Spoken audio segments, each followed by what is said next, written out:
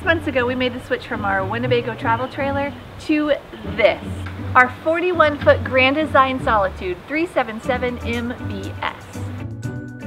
We've got a few pieces of gear that we needed to upgrade due to the size of the rig. I'm gonna get ready to show you some of those while Eleanor gives you a quick tour of the inside of the camper. Eleanor,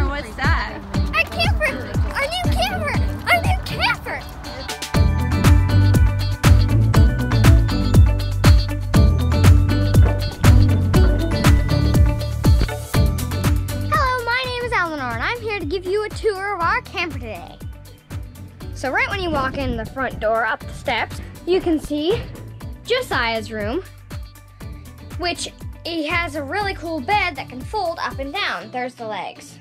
Over here is our kitchen and refrigerator.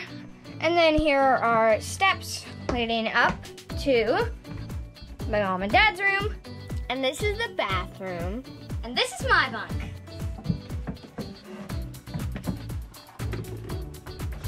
And I love my bunk because it's very cozy and soft. And that's it, that's the whole camper.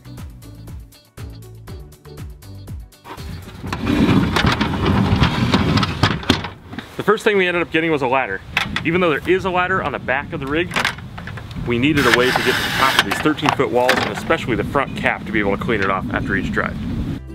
This is the HaloView RD7 Plus.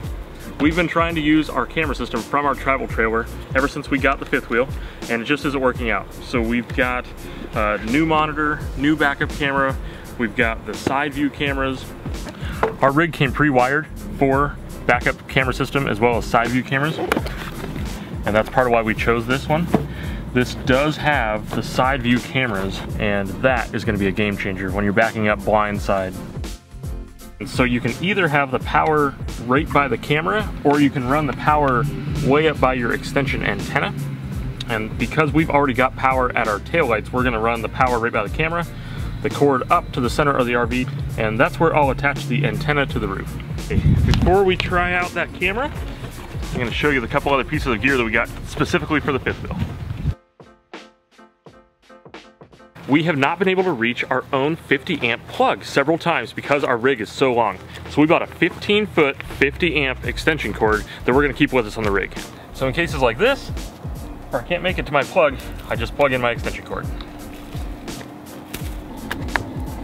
So since we have six leveling jacks on this rig, we have got these snap pads and we've loved them. They are permanently attached to the foot on the bottom of the jack and that way we don't have to run around and place these orange blocks underneath each one. They work on all surfaces and have been a great addition to the rig. We went the entire time in the travel trailer without X-Chocks, but in the bigger rig with the additional weight, we just felt the movement inside a whole lot more. Added these between the wheels each time we park, it's been great. How you doing up there, Daddy? Good. Just running the last of the wires up to the antenna. Okay. Okay. I think I've got it all wired up right. Let's see if it works.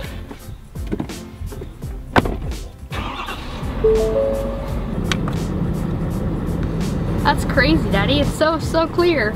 We now have the ability to see all the cameras at the same time. The driver's side. Hey, Eleanor.